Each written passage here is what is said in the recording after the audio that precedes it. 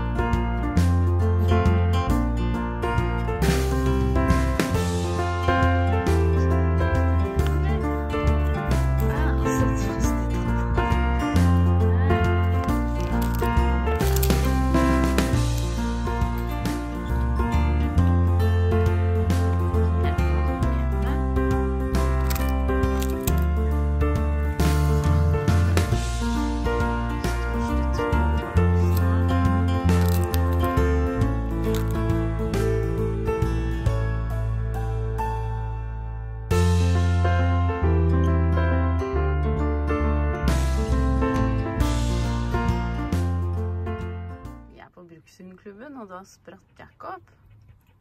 Skal du ut, du altså? Hæ, skal du ut altså? Jeg Skulle ut på Brukshundklubben, sa han.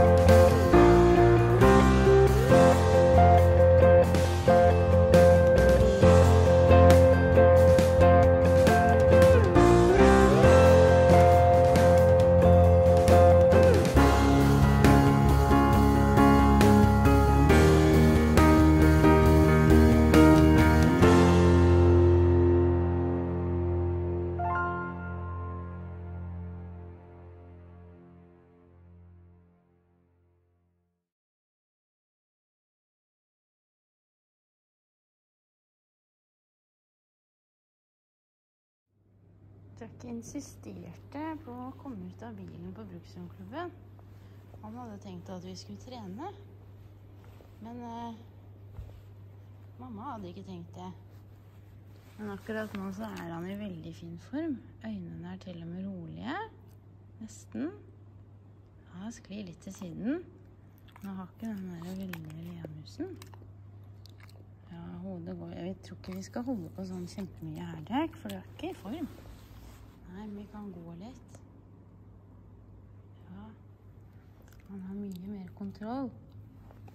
Ja, mamma trenger ikke å støtte deg i selen engang. Ja. Ja, vi kan gå rett fram.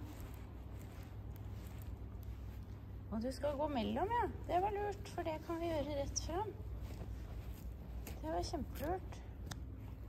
Bra.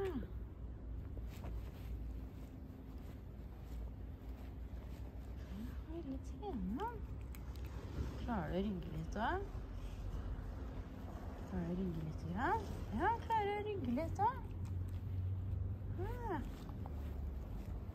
Han er fortsatt litt ustødig. Ja, vi skal ta det veldig med ro. Ja, vi skal ikke gjøre sånn kjempemye greier. Og så er det litt varmt her inne i hallen, så kanskje vi skal gå ut. Ja, skal vi gå ut? Ville du gå mellom? Ja, da hadde dere likt den. det